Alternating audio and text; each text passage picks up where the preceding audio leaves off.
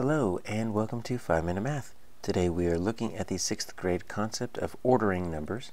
This is standard 6.2D in the great state of Texas and we are using item number 20 of the 2017 released STAAR test. If you have not done so already, please go ahead and take a moment to pause the video, work this problem out on your own, unpause it, and then we will look at our answers together.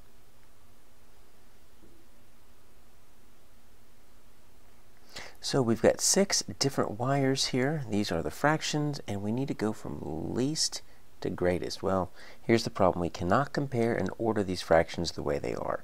They have different denominators, and we really have two viable options here.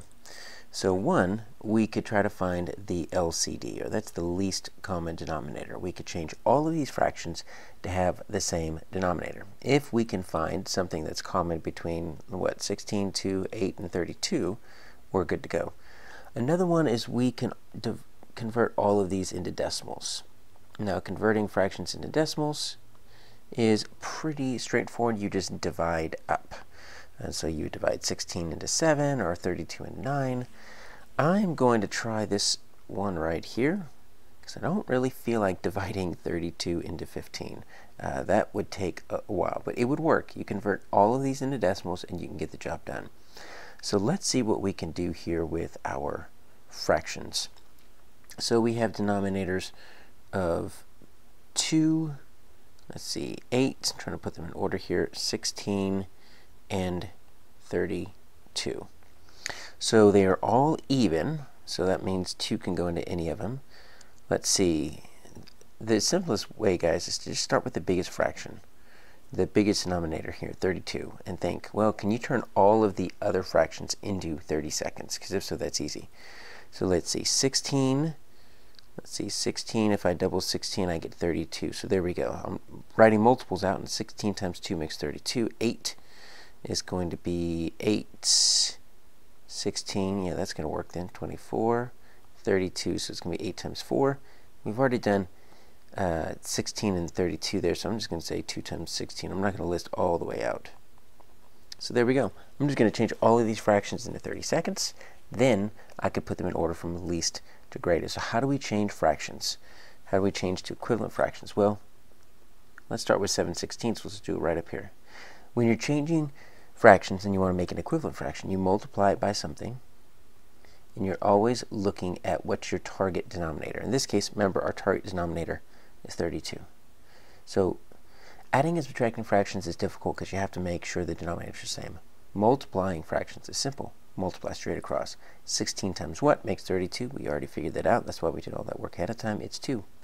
Now, if your denominator is 2, your numerator is 2, because 2 over 2 is the same as 1. When you multiply anything by 1, it stays the same. So I'm just making it look a little bit different. That's all I'm doing. So my 7 sixteenths is really 14 30 seconds. So I'm just going to kind of put that right above it. 14 30 seconds. Going to do the same thing with my half. Remember, we're trying to get it to 30 seconds, and we figured out that it was 2 times 16. So if that's 16, that's 16, so 1 times 16 makes 16. And that makes sense because 16 is half of 32, and it needs to be equivalent to a half. So we got 14 and 16 so far. Let's do 8. Let's do 3 eighths. 8 times what is going to make 32? 8 times 4. Remember, we did all that work right there. So 4 on the bottom, 4 on the top. 4 times 3 is 12. And there we go. That's 12. 30 seconds. We can leave that 9 just right where it is. Oh, all we have left is that 5. Hmm. Let's put that right there. 5 sixteenths times something. It's going to get me 32. Let's see. if That's going to be 2. And that's 2, so that's 10. So there we go. That's 10 30 seconds. Make sure that looks like a 0 and I get 15.